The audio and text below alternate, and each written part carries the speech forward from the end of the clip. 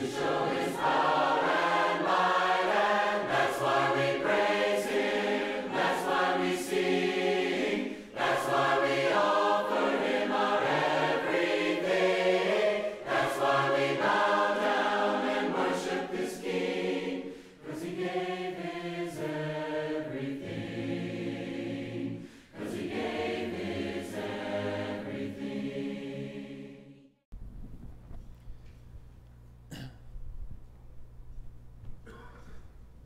Good evening. It's good to see you once again. Uh, I want to thank you for being here tonight, especially if you were here last night. Um, I'm surprised you came back. No, uh, I appreciate you being here. It really is a pleasure to be able to uh, speak here, and uh, it's an honor to be able to talk about this topic. It's something that we don't hear a lot about, of course, and a lot of people have a lot of questions. A lot of people have heard a lot of things about the Dead Sea Scrolls. Why are they important? And that sort of thing. Uh, I hope that we can address that subject tonight to your satisfaction. And if not, you can always ask questions later, and we'll try to help uh, those areas where maybe we didn't uh, cover so well. Uh, the importance of the Dead Sea Scrolls is several things that we'll discuss, both relating to the Old and the New Testaments, and we'll get to that point in just a moment. I want to spend just a second about the discovery of the Dead Sea Scrolls uh, because it's a well known story. Uh, two, uh, or three rather, shepherd boys were walking around in the area of the Dead Sea uh, in a place we now call Qumran. And one of them threw a rock into a cave, supposedly looking for a lost sheep. And when he uh, heard the rock uh, hit the cave, it crashed. Sounded like some jars breaking. Well, a couple of days later, another one of those three boys entered into what was eventually called Cave One of the Dead Sea Scrolls and found three scrolls. And those scrolls turned out to be one of them was a copy of the book of Isaiah. Uh, this is Cave One, what it looks like. One of them was a copy of the book of Isaiah, and the other two were copies of books that nobody had ever seen before, books that were brand new to us uh, and they were not copies, of course, of the Bible. Uh, one of the things people sometimes don't realize about the Dead Sea Scrolls is there are about 930 of them that were discovered, and only about, at least at Qumran, and only about 222 of them are copies of the Old Testament. So the overwhelming majority of what we call the Dead Sea Scrolls are not copies of the Bible. And that's something that, again, not a lot of people know. But among the very first scrolls discovered was the Great Isaiah Scroll, as it has been called. Uh, if you go to Jerusalem today, you can visit a museum called the Shrine of the Book. It is a museum dedicated to the Dead Sea Scrolls, and the centerpiece of that museum is a display that kind of looks like the end of a big old scroll, and all the way around that display is the Isaiah scroll unrolled. I don't remember exactly how many feet long it is, but it's pretty long. And it's one of the most significant discoveries because it is the only biblical scroll among the Dead Sea Scrolls that preserves an entire book of the Bible. So, most of the Dead Sea Scrolls don't look like that. This is what most of the Dead Sea Scrolls look like. It's not a scroll as much as a scrap, right? And people put these together. People who study the Hebrew and Greek and Aramaic, and there were some Nabatean scrolls, those languages, they kind of take tweezers and they put them on pieces of glass and kind of piece them together like pieces of a puzzle. And that's what most of the Dead Sea Scrolls are just little bitty fragments. In fact, uh, I love this picture for a couple of reasons. One, It illustrates what life was like in the 1950s, right? Where you could stand over uh, priceless artifacts worth many millions of dollars with a cigarette hanging out of your mouth and not worry about it. Times are different today. if people, if people were doing this kind of work today, they would have archival gloves and maybe even a face mask and a lab coat, and they would be all careful, you know. Uh, not so in the 1950s, a very different kind of world. But another reason I want to show you this is you can see the kind of work that is being done. Look at those tiny little fragments. literally hundreds of these things that someone has picked up and placed in just the right location so that they can help to reconstruct what this original scroll was like when it was actually complete. And most of the Dead Sea Scrolls are like that. In fact, I'll, we'll look at several translations a little bit later on this evening, and you'll see there are all sorts of, uh, uh of brackets and things to mark where words have to be supplied and filled in uh, because they're missing in the manuscripts, just like this. And so the Dead Sea Scrolls more often uh, are better called, I guess, the Dead Sea Scraps uh, in a lot of ways. And they have to be pieced together, and there's a very precise science as well as a very good knowledge of these ancient languages that goes into this kind of work. But moving on, uh, we want to spend just a moment on this question who wrote the Dead Sea Scrolls? Who is responsible for this literature? Why does it exist? Well, one of the things that I want to mention is that most of these scrolls were scrolls that were written uh, and they're books of, of uh, books that we already knew. So I mentioned about 222 of them are copies of uh, parts of the books of the Bible. Uh, we also have a number of other manuscripts which were copies of books that we've known for years, for centuries. Uh, the book of Jubilees, we already knew about the book of Jubilees. The book of First Enoch, Lots of manuscripts of both of these books at Qumran. Now, we already knew about them. The Dead Sea Scrolls provide us with earlier and better manuscripts of them. Uh, we also know about, like the book of Tobit, some of the books of the Apocrypha and things. These were also discovered at Qumran. So, again, most of the books that were discovered we already knew about. But there are about a hundred scrolls that we did not know about. Things that we learned about for the very first time. And we call these sectarian.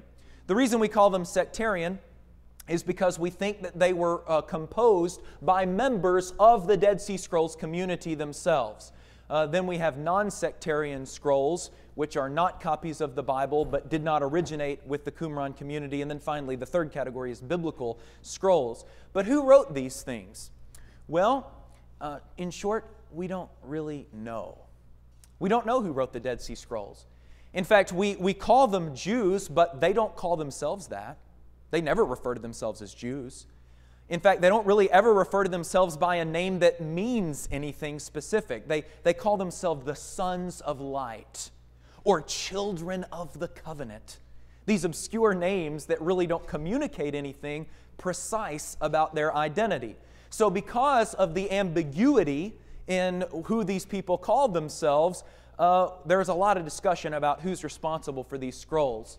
If you Google the Dead Sea Scrolls, the Wikipedia article is going to tell you they are most likely associated with the community of Essenes. Last night I talked about the uh, nature of, of Judaism being very fragmented at the time of Jesus, and I said that one of the groups Josephus talks about is the Essenes. Uh, they're not mentioned in the New Testament, but they're uh, quite numerous according to uh, Philo and Josephus. Philo, I think, says there are about 4,000 Essenes in the first century. Uh, and some people say, well, these are Essenes. The literature doesn't call them that. Uh, and in fact, uh, they do match the Essenes in some very important ways, but they don't match in other ways. So some people have said, well, they represent a subset of the Essenes. Whatever. Uh, we don't know. Some people have said that they are Sadducees because of some of the legal positions that are taken in interpretations of the law of Moses. Some people, although not very many uh, these days, have said, well, they're Pharisees. Uh, some people have even tried to argue that they were early Christians who wrote the scrolls. Uh, one of the things that you'll find if you read very long on the internet is that the Dead Sea Scrolls contain copies of parts of the books of the New Testament. That's not true. There is not a single verse from the New Testament found among the Dead Sea Scrolls. Uh, there have been people who've tried to argue that, uh, especially in the 1970s, but it's simply not true. Basically, we don't know who these people are. We know that they're Jews. On the whole, they're very conservative. They're very concerned with practicing the faith uh, as set forth in the Old Testament, in particular in the law of Moses, but we don't really know for sure who these people are. And so that's not a question we can really answer with any absolute certainty. What is important, though, is how this stuff relates to the Bible. What does it tell us about Scripture that we didn't already know? And that's where I'd like for our uh, journey to go next as we think about this subject. First of all, the Dead Sea Scrolls were very important early on in helping us better appreciate and understand the text of the Old Testament. Uh, it's kind of bizarre for us to think about this, but before the discovery of the Dead Sea Scrolls, we had manuscripts of the Greek New Testament that were older than our oldest complete manuscripts of the Hebrew Bible. You understand what I'm saying? The, the books of Moses, written in about 1500 BC, the Old Testament completed uh, over 400 years before Christ. And the oldest, more or less complete manuscripts we had were only about a thousand years old from where we stand today. So, the discovery of the Dead Sea Scrolls was important because it allowed us to access manuscripts of the Hebrew Bible that took our knowledge a thousand years back further in history than we really had. That was amazing. And there is a lot of significance that comes, of course, with that.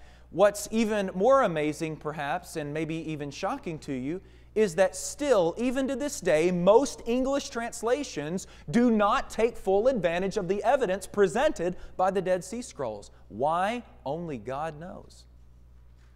You might have, if you have a newer translation of the Bible, like the English Standard Version or something, you might get some footnotes that say uh, the Dead Sea Scrolls have this. But they don't really change anything in the text on the basis of the Dead Sea Scrolls. And we'll, we'll talk about some of this in just a second. And so, what I always tell people uh, whenever we, we talk about the text of the Old Testament from the Dead Sea Scrolls, and I'm going to get kind of technical here for a minute, so uh, forgive me or be drawn in more, whichever you're inclined to do.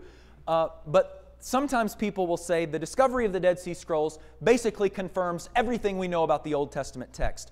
That's not exactly true it does, on the whole, I think, confirm our faith in the reliability of the preservation of the Old Testament text. So let me say that at first, and I'll explain what I mean more by that in just a moment. But it also complicates certain things.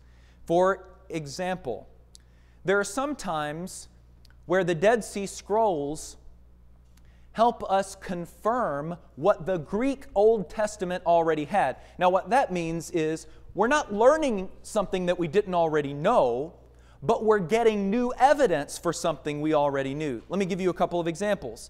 In the book of 1 Samuel, chapter 17, in verse number 4, you read about David, he's going out to fight Goliath in this chapter.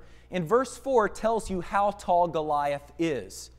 And the uh, Masoretic Hebrew text, from which most of our English translations come, okay, it says Goliath is six cubits and a span. Now, a cubit is the length from the tip of your middle finger to your elbow. It's about 18 to 21 inches, give or take. And a span is the width of a, of a man's hand, so about four inches or so. And you calculate that out, and the Masoretic Hebrew text is telling you that Goliath is about nine and a half feet tall. That's really tall. The Greek Old Testament, for centuries, has had a different reading. And now we know, thanks to the Dead Sea Scrolls, that the very oldest copy of Samuel that we have says exactly the same thing that the Greek Old Testament has always said that Goliath was not six cubits in a span, but four cubits in a span, or somewhere in the neighborhood of six and a half feet tall. Now, the average Israelite at the time of the Old Testament was probably about five feet seven, so six and a half feet tall is still going to be looking like a giant. See, this is your closed societies where everybody's basically the same height. And so six and a half feet tall is still really tall, but it changes the height of Goliath a little bit based on our oldest manuscripts of Samuel. Now, that probably shouldn't bother us because every picture of Goliath my children have ever covered, uh, colored in Bible class, Goliath's like 28 feet tall anyway, right? In every vacation Bible school sit, skit that you do, he's at least 15 feet tall, right? So uh, we sort of exaggerate the height of Goliath even beyond uh, what the Masoretic Hebrew has it. And uh, I guess at the end of the day, it doesn't really matter how tall Goliath is, but this is something that's a little different. And if we pay attention to our very oldest manuscript in Hebrew, we have to seriously consider that information. Another example is found in Psalm 145. Now, if you look in Psalm 145, some of your Bibles will tell you, uh, other, others of you won't have Bibles that tell you this, but some of your Bibles will tell you this is an acrostic poem. Uh, one of the things about Hebrew poetry that makes it so complex is sometimes they arrange poems according to the letters of the Hebrew alphabet. We call these acrostics. The most famous one is Psalm 119. Now, you know Psalm 119 is the longest chapter in the Bible, but it's actually one continuous poem, and every four lines starts with a different letter of the Hebrew alphabet. Now, if I asked you to write a poem like that tonight, we'd probably be here by midnight and you'd, you'd struggle to come up with a coherent poem that went through the letters of the alphabet like that. But this is the way that some of the chapters of the Bible are written. Well, that's Psalm 145. The problem is in the Masoretic Hebrew text, and therefore in all of our English translations, if you're using a mainstream English translation, you are missing a verse. There's no question. This is not like liberal scholars telling you you're missing a verse. You are missing a verse because the letter nun is missing. One of the Hebrew letters is just not there. Now, that verse is in the Greek Old Testament. We've known about it for years, but it's not in the Hebrew manuscripts uh, from which our English Bibles are usually translated. But you look at one of the Psalms manuscripts that covers Psalm 145 from the Dead Sea Scrolls, and lo and behold, you have the verse. The same verse we already knew from the Greek Old Testament is in the uh, Hebrew manuscript from Qumran. And it says, God is faithful in his words and gracious in his works. 11Q Psalms says that. God is faithful in his words and gracious in all his works. Now, there are a couple things I want to say before we move on. Did you learn anything there? How many of you did not know before I just read those words that God was not faithful and gracious? The Bible affirms that in a number of places, which is kind of an interesting point. That even though we find some things that tweak uh, certain texts or maybe make us think seriously about certain other texts, None of these variant readings that the Dead Sea Scrolls helped us uncover, none of them change anything that we didn't already know. None of them ch- challenge our view of God. None of them change anything in Israelite history. None of them force us to look differently at the people of Israel and the covenant that God established with them. Everything's basically the same that we've always believed. Now, it's hard to explain that without thinking about the providence of God. Can you see it? How God sort of worked behind the scenes to make sure that everything that people had to know, they knew. Another example this is an example of something that actually is not found in the Greek Old Testament or in any other place that we know. It's a new passage, but it's an interesting one. If you have your English Bibles, go to 1 Samuel chapter 11. And we'll read a, a, part of this passage together. And then I want to read a part of the passage preserved in the oldest Hebrew copy of the book of 1 Samuel we have. And you'll see how much more valuable that passage from the Dead Sea Scrolls is. It doesn't really change anything, the Bible says, but it adds to our knowledge of why it says what it says. All right, so I'm in, I'm in 1 Samuel 1, and I'm reading uh, or excuse me, 11, and I'm reading in verse 1. 1 Samuel 11, reading beginning in verse 1. Then Nahash the Ammonite, this foreign king, went up and besieged Jabesh Gilead, that's the way you say that. So all the people of Jabesh said to Nahash, Make a covenant with us, and we will serve you. But Nahash the Ammonite said to them, I will make it with you. I'll make a covenant with you on this condition that I gouge out the right eye of every one of you and so disgrace all Israel. Now, if you are reading this passage, and many of you no doubt have read it before, you are wondering, what in the world is this guy on? You know, yeah, I'll make a covenant with you as long as I can poke out your right eyes. Ha ha ha. Why does he say this? It sort of comes out of nowhere and the Bible just leaves it hanging. It's not explained. But if you follow the text of the very oldest Hebrew copy of Samuel, you get these words. You won't find these in your English translations, most of you, unless you're using the New Revised Standard Version. It's in there. Nahash, king of the Ammonites, oppressed the Gadites and the Reubenites. You know, those two tribes that settled to the uh, east of the Jordan. He oppressed the Gadites and the Reubenites viciously he put out the right eye of all of them and brought fear and trembling on Israel. Not one of the Israelites in the region beyond the Jordan remained whose right eye Nahash, king of the Ammonites, did not put out, except 7,000 men who escaped from the Ammonites and went to Jabesh Gilead. Well, you read those words, and all of a sudden, what you just read in your English translations makes much, much more sense. He has just attacked these two tribes to the east of the Jordan, and in the process of attacking and subduing them, he gouged out their right eyes. And then the 7,000 who managed to escape his wrath fled to territory on the other side of the Jordan where their brethren were. And he said, Sure, I'll make a covenant as long as you let me do what I did to your compatriots a month earlier. Well, it makes much more sense. And so these are the kinds of things that the Dead Sea Scrolls sometimes helps us with.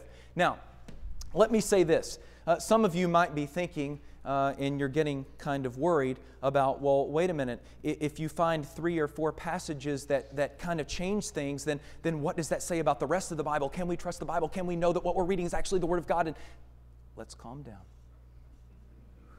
Serenity now, right? Take a, deep, take a deep breath.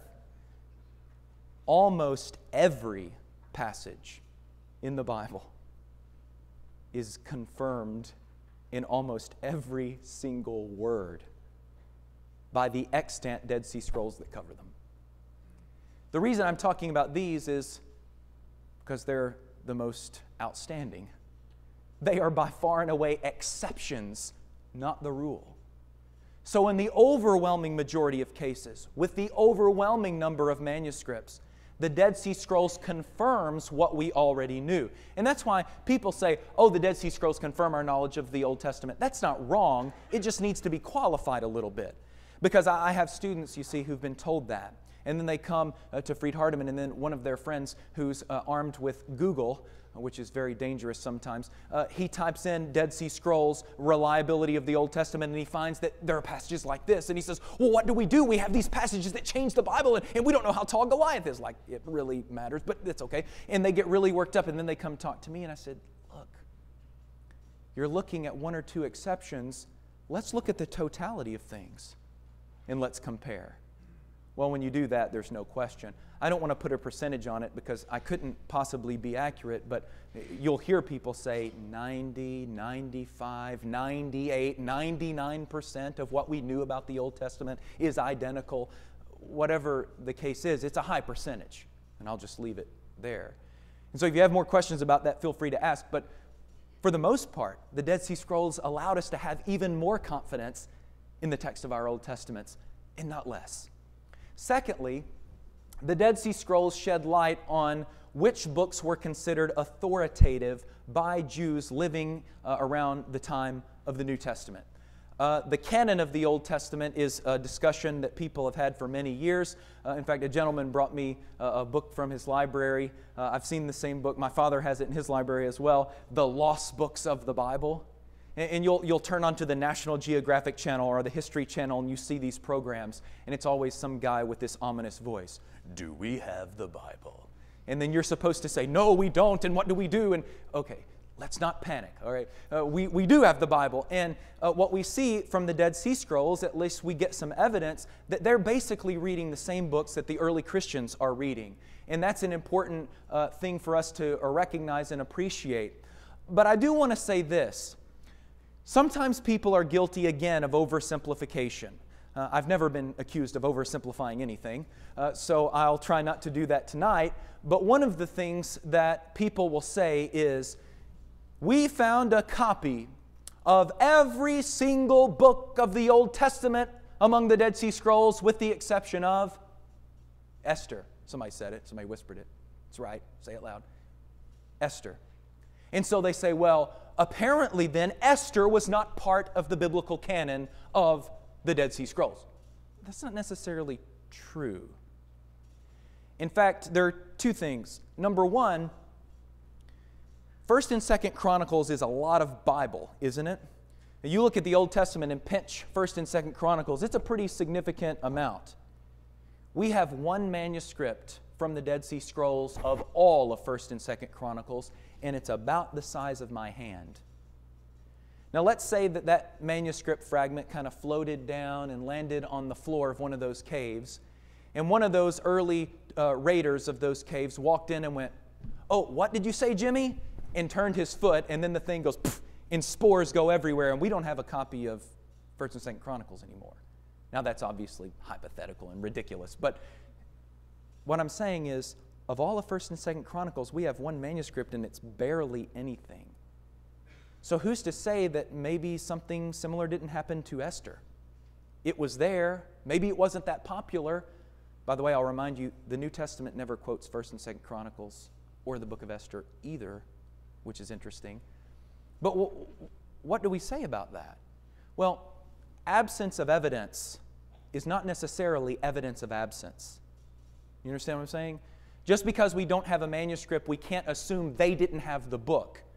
The second thing that enters into this is there are multiple copies of books that we do not include in the Old Testament canon. No Christian tradition includes in the Old Testament canon, or at least most don't. Jubilees and First Enoch, there are a lot of copies 26, 27, 28 copies of these books combined that are found among the Dead Sea Scrolls. Does that mean that these books were considered part of the Bible by the community of the Dead Sea Scrolls? Not necessarily. If you have a lot of books at your home, my assumption is if I walked in and I were to count the titles of your books, you would own more copies of non biblical books than you would copies of the Bible. Am I wrong? You might have an encyclopedia set. If you're like us, you've got a whole shelf full of children's books that people have very kindly given you through the years.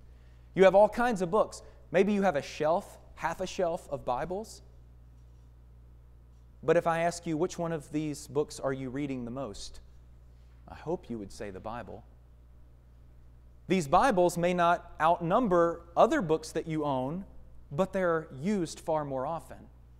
And so, who's to say, based on count alone, how the books that are in the library of the Dead Sea Scrolls were actually used? See, that's a question that we can't answer nearly as easily. What we have to do is actually look at the other works that these people are writing and see which scriptures they're quoting, see which scriptures they're referencing. And when we do that, we find that they're using the same scriptures the New Testament authors do. They're using the Psalms, they're using Isaiah, they're using the books of Moses. They are using all of these authoritative scriptures that we would already recognize. And so it helps us understand that the books they regarded as authoritative are the very same books that Paul and Peter and all the rest regard as authoritative. And so the presence or absence of a book does not necessarily mean anything about its canonicity at Qumran. Uh, this is a, a, it's a, a, chart that I borrowed from a book on the Dead Sea Scrolls, and, and you can see how it kind of shakes out. I know I'm comparing apples to oranges in a way here, but the quotations, the number of quotations in the New Testament uh, versus the number of manuscripts from Qumran, and what you can see is, on the whole, they're kind of the same. The book of Psalms is the most often quoted Old Testament book in the New Testament. Guess what? There are more manuscripts of the book of Psalms than any other book of the Old Testament at Qumran. Deuteronomy, same kind of deal. Genesis, Isaiah, very popular in the New Testament, also very popular at Qumran, used far more than the manuscript number would actually indicate. So you can see the point. The point is that even though the Dead Sea Scrolls don't represent what all Jews are thinking, we talked last night about characterizing all Jews in the same way, but it at least illustrates for us that the biblical books that are popular, those are the books that are also popular among the authors and the audiences of the New Testament. Now, let me ask you a, a probing question. If I were to take last year's sermons and take the texts that were referred to from this very pulpit, would I reach a conclusion that you excluded certain books from your canon? How many references to the Song of Songs did we have last year? or to Chronicles, or to Zechariah, or to the last six chapters of Daniel. First six chapters, that's VBS stuff. The last six chapters, it's uh, very different. You see, you see my point. And so it would be unfair to judge what you thought about the canon on the basis of how frequently you quoted or used books. I think if we expect that standard to be applied to us, the ancients at least deserve the same courtesy.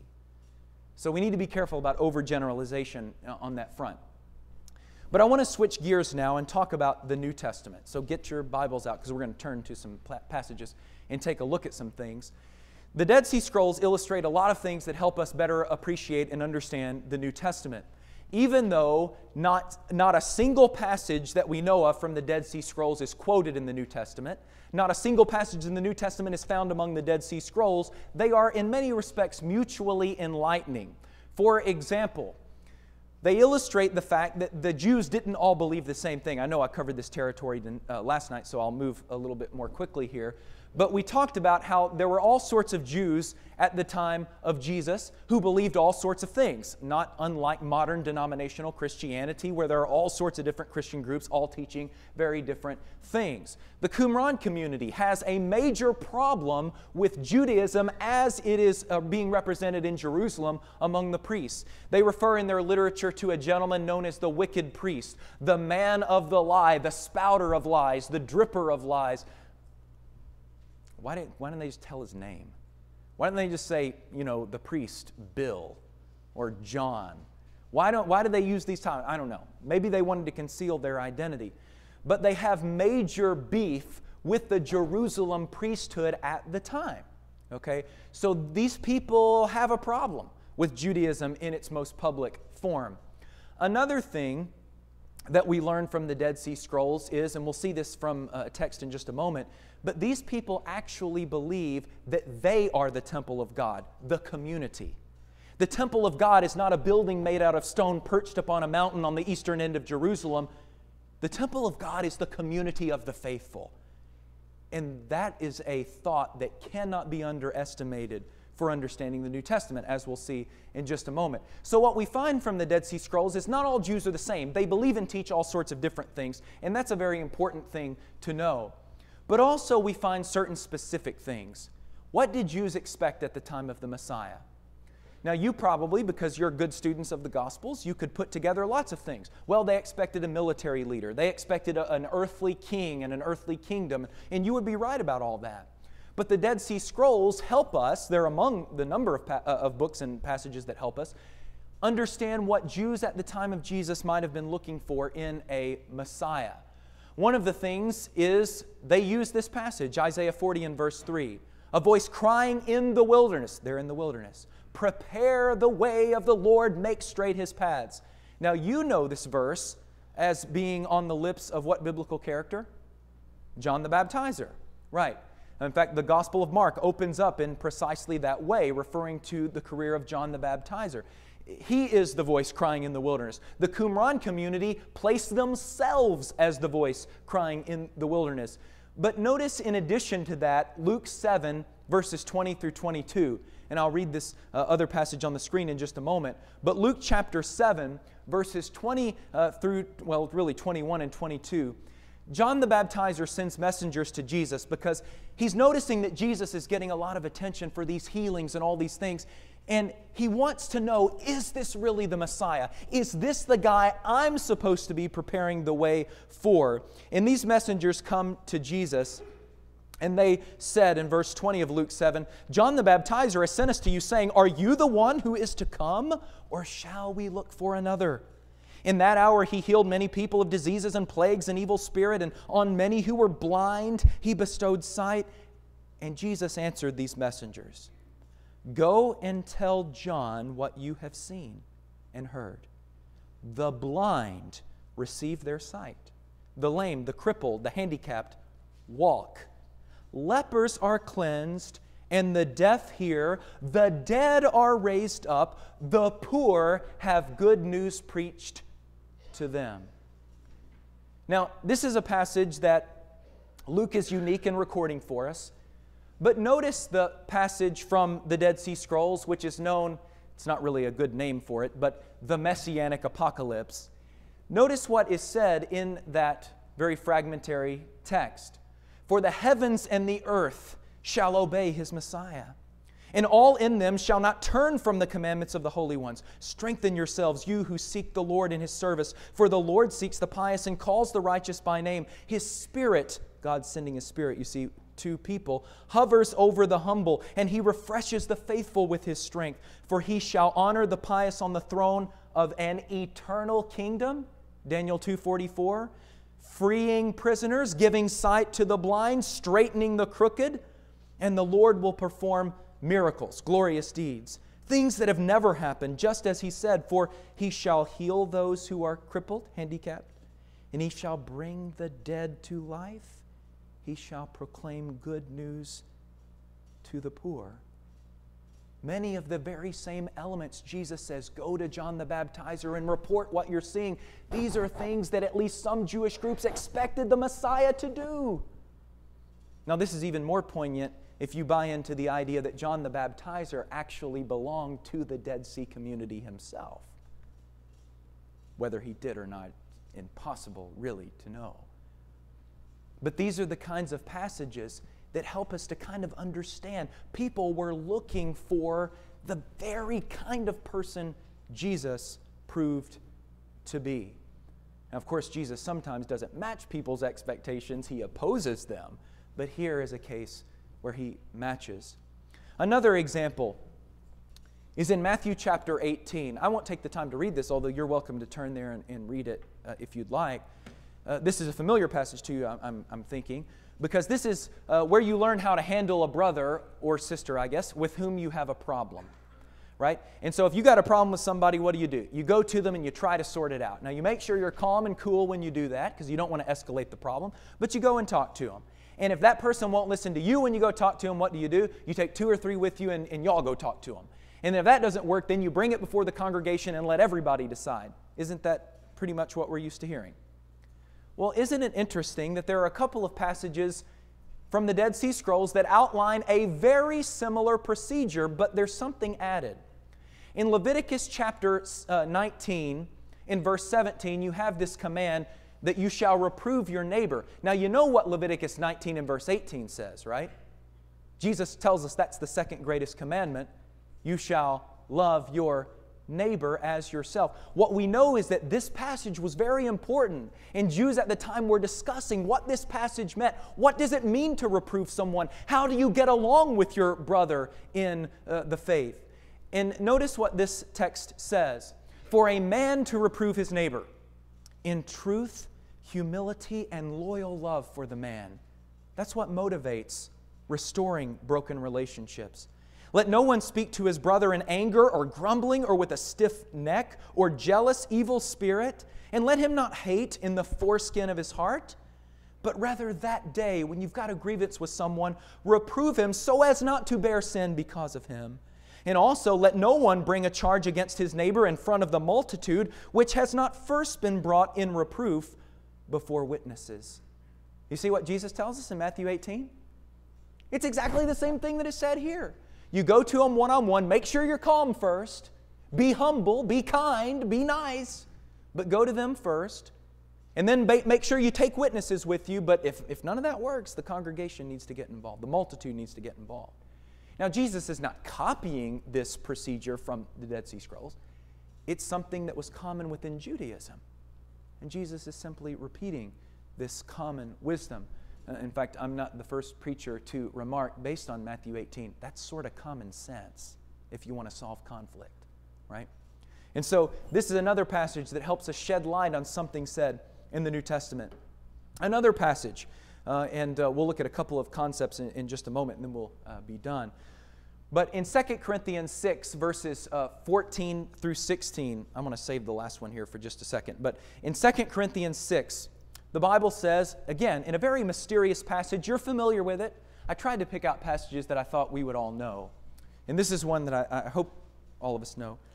Do not be unequally yoked with unbelievers. For what partnership has righteousness with lawlessness? Or what fellowship has light with darkness? What accord has Christ with Belial? This is one of the few times in the New Testament where we read about Satan by the name of Belial. Or what portion does a believer share with an unbeliever? What agreement has the temple of God with idols? For we are the temple of the living God. Now, I'll just stop right there. Notice the resonances between what Paul says here and what we often find in the Dead Sea Scrolls. One is the opposition of light and darkness. Now, we know this from the Gospel of John, from 1 John light, good, darkness, bad. And often these are used as metaphors to describe righteous and wicked people. Paul uses that here. It's used consistently in the Dead Sea Scrolls. Also, the name Belial for Satan. Uh, that name doesn't occur in the Old Testament in reference to Satan. In fact, uh, the idea that there is a power named Satan that opposes the wicked is very rare in the Old Testament. I'm not sure how many of us reading the Old Testament realize that. Basically, you got kind of first two chapters of Job, and that's about it. You got a passage of Zechariah as well, but there's not a lot. Whereas when you get to the New Testament, it's much more common. Where do you think that came from? It came from the intertestamental period. And this is just one of the passages that illustrates that, even down to the very term that's used. But then the last thing, and the most important thing I want to point out in this passage, is the fact that Paul says, Don't defile the temple of God because we are the temple of God. The temple of God is not a building that some king built. It's not a building where priests serve and offer sacrifices. It is the righteous people of the Lord. That's who the temple is. And you have this passage from the community rule of Qumran. At that time, the men of the community shall separate a house, talking about people, by the way, uh, of holiness for Aaron, a, a holy of holies for the community, and a house out of the community of Israel, those walking in perfection. Now, more of this passage, which I, I didn't want to put on the screen, it makes clear that we're talking about the people. They're the temple, they're the holy community. Where does the New Testament get that concept? Everywhere in the Old Testament, the temple is a building. In the New Testament, the temple is people. Where did the change occur? In the intertestamental period. There are some controversial issues of New Testament significance that may or may not be helped by the Dead Sea Scrolls. I don't know if you're familiar with this debate or not. It's kind of a geeky debate if you want to know my opinion, but since I'm a geek, I'm interested in it. But um, the idea in John 3:16, God so loved the world that he sent his what? Depends on what version of the Bible you're reading, doesn't it? The King James, and in fact, most of the mainstream translations of the English Bible, the American Standard, New American Standard, they read only begotten Son. But you may be aware of the fact that there's a big discussion about what this word means. Uh, whether it means only begotten or whether it means one of a kind. And really, the argument that is made is based on Hebrews chapter 11, where Isaac is referred to as the uh, same word that is used, monogenes, son of Abraham. And people say, well, Abraham already had one son named Ishmael, so Isaac could not have been the only begotten. And therefore, they conclude that Jesus wasn't maybe the only begotten Son of God. Well, if you want to know the truth, just looking at the Greek word both definitions are actually accurate. They're both represented in literature. So you could go either way. The question is not what, what the word can mean, what the word does mean in this context. It may be that one of the Dead Sea Scrolls kind of helps here. Notice in one of the, uh, one of the copies of uh, the document we just referred to earlier, the rule of the community, community rule, it says, and this translation sometimes gets disputed because people don't like the wording of it, but at a session of the men of renown, those summoned to the gathering of the community council, when God begets. The Hebrew word could be translated when God fathers the Messiah.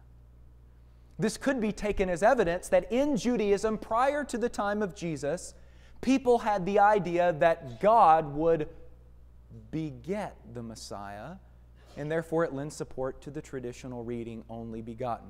I don't want to push that because somebody will want to fight me about it somewhere. But uh, anyway, that's at least something I think is worth considering. One final passage, which I think is very, very uh, interesting and important. Um, if somebody knows everything that the New Testament is talking about in Hebrews 7 when it describes Melchizedek, see me after class.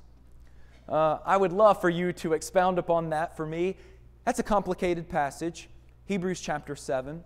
Uh, it describes how Melchizedek is like the Son of God. By the way, I didn't misspeak. Most people misread Hebrews 7.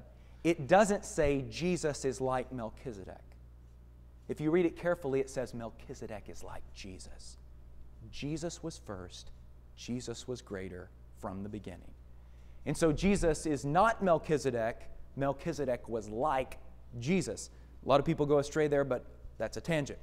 What I want to do here is to talk about why it is that Melchizedek shows up in Hebrews 7 at all.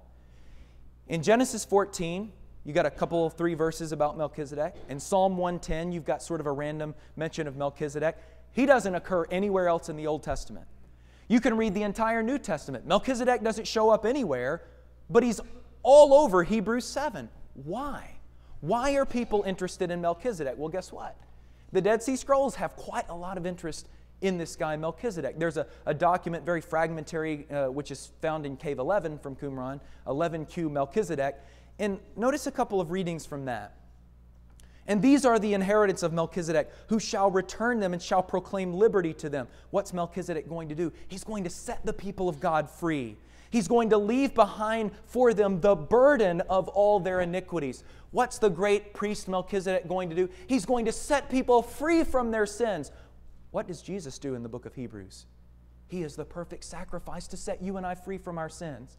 A few lines later, and Melchizedek shall bring the vengeance of God's judgments, and on that day he shall free them, the people of God, from the hand of Belial and from the hand of all the spirits of his lot.